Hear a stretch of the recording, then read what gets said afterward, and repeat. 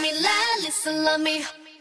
Fala com a gente, que é a Nath. E eu sou a O Isa. que, que a gente veio fazer aqui hoje? Hoje a gente veio falar sobre o que esperar do debut solo da Lisa. Sim, gente, Lalissa is coming. Ela vai vir aí com um mini álbum, vai estrear agora nessa sexta-feira, amanhã, vai vir aí, né, com duas faixas originais e duas instrumentais das faixas. E também vai ter os MVs, vai ter muita coisa. A gente vai dar uma destrinchada aqui do que, que a gente tá achando sobre todo esse marketing por trás do mini álbum da Lisa de estreia, de que, que a gente acha que eles estão fazendo direitinho, o que, que a gente já percebeu nos teasers que a Lisa já soltou pra gente, dicas que ela já deu, né? Tipo assim, easter eggs, né, que esses teasers já nos deixaram. Então fica até o final pra gente discutir um pouco e teorizar sobre esse comeback que vai parar o mundo de amanhã. Mas se você já chegou nesse vídeo, se Já inscreve se nesse inscreve canal. nesse canal, dá like nesse vídeo, comenta aqui embaixo pra engajar, porque vocês sabem que o YouTube ama o engajamento e vai seguir a gente nas redes sociais ao lado, Instagram, TikTok, gente, é muito legal lá, gente, segue a gente. Por favor, gente, ajuda a gente a desflopada na internet, que não tem influenciador flopado. Help us. E bora pro vídeo. E esse lançamento mal chegou e já tá recebendo toda a atenção que ele tem que merecer mesmo. Já saiu teaser promocional, fotos promocionais, já saiu inclusive a confirmação de que a Lisa vai estar se apresentando no Jimmy Fallon amanhã, junto com o lançamento do álbum. A tracklist já foi revelada e nós temos duas músicas originais, mais duas músicas instrumentais, e gente já está vindo aclamado. Sim, a gente tem aí o que? La Lisa, o primeiro single, e Money, que vai ser a B-side, né? Do mini álbum. Vai ter o mesmo tipo, e está tendo o mesmo tipo de divulgação do R da Rosé, né? Que na época foi um estouro total. Foi. Tivemos aí Gone, tivemos On the Ground, tivemos dois MVs, tivemos o mini álbum, que na época bateu todos os recordes de pré-venda, 500 mil cópias, a bichinha Rosé super vendeu. Só que por incrível que pareça, a Lisa Manoban conseguiu bater o recorde da amiga de grupo. Ela, em menos de quatro dias de pré-venda do álbum, já vendeu mais de 700 mil cópias, batendo o recorde para solistas femininas dentro do K-pop, né? Nunca nenhuma outra solista vendeu tanto numa pré-estreia quanto a Lisa atualmente.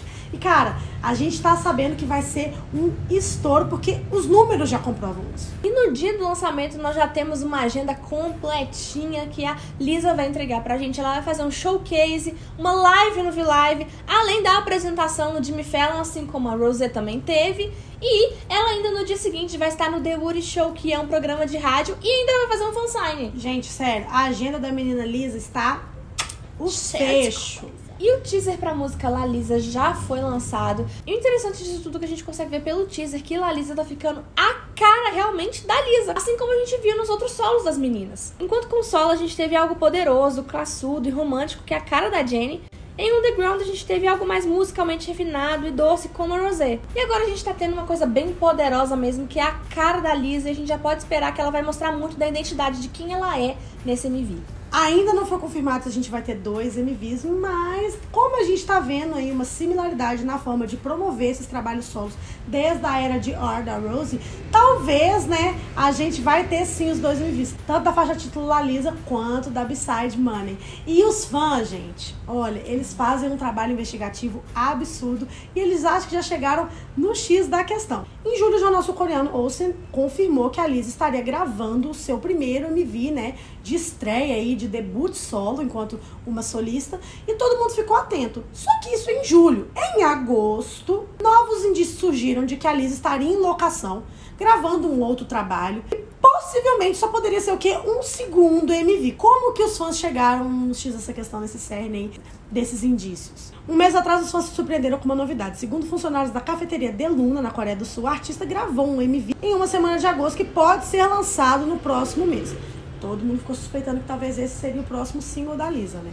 E tinha fotos da locação onde tinha food trucks roxinhos pra Lisa, que foi enviado por quem? Pela Bulgari, né? Marca que a Lisa é embaixatriz. Além disso, os fãs entraram em contato com a cafeteria pela DM para averiguar se era mesmo a Lisa e eles confirmaram. E além disso, já tá confirmadíssima a parceria da Lisa com o DJ Snake. Ele já postou vários teasers, várias coisinhas ali, né, vários trechinhos da música pra gente ter um- uma ideia ali de como que vai ser. Porém, o DJ Snake não está acreditado em nenhuma das músicas do álbum da Lisa. Muita gente acreditava que a parceria dos dois poderia vir no trabalho solo da Lisa, mas pelo visto não vai ser isso. Pelo visto vai ser um trabalho do DJ Snake que vai ser o featuring com a Lisa.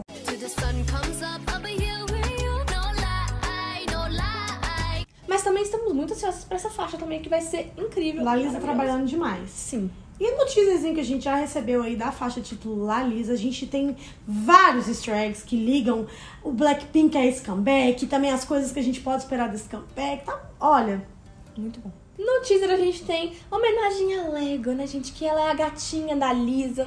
Gente, olha que lindo. É homenageando o seu animal no teaser. Um outro easter egg também é que as suas coreógrafas Lee Jung-gi e a Silver Gun estarão no MV. Existem outras coisas que os fãs já perceberam só desse teaser aí, que tem palavras em coreano, em tailandês, em chinês, em japonês, só mostrando tanto que ela é uma idol multicultural. Ela não é a idol mais popular do mundo à toa. Ela é uma menina muito amada, amplamente amada mundialmente, e ela tem um pouquinho aí dessas línguas em todo lugar. Mostra o tanto que ela é amada mundialmente, faz ela muito bem porque ela é o momento. E ainda tem referência à performance da Lisa com Aiko no Kingdom, já que os tronos do MV e da performance são muito parecidos. Será que era uma easter egg do solo dela Na época? na época do Kingdom e a gente nem percebeu porque a gente não sabia como é que seria o solo dela?